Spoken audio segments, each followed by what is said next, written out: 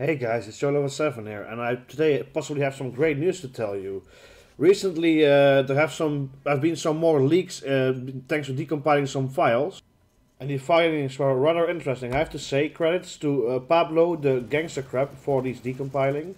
So first of all, you can see right here is the overall pictures for the um, well, basically operation maps have been made which must mean the operation is closed. Just like the play mission button, the leaderboard button, and like uh, a lot of icons uh, from the operation missions, you know, including an assassination mission and some unknown one yet, uh, have been added to uh, the, the game files, and you can see them right here.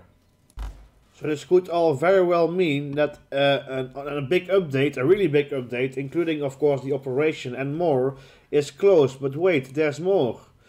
During the decompiling of these files, we find another thing, which is a new rarity for skins called Arcana, which is, has yet to be given a proper name.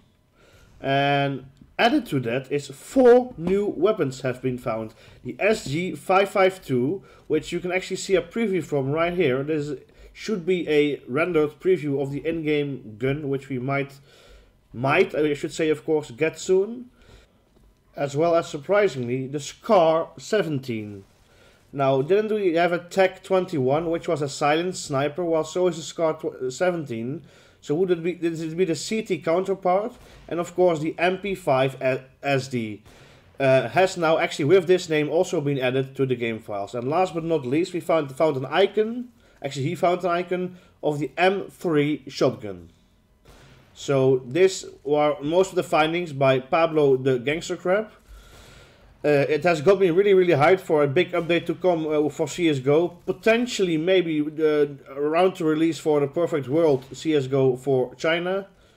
But we'll see. I hope you enjoyed this video. Take care. Cholover 7 out for now.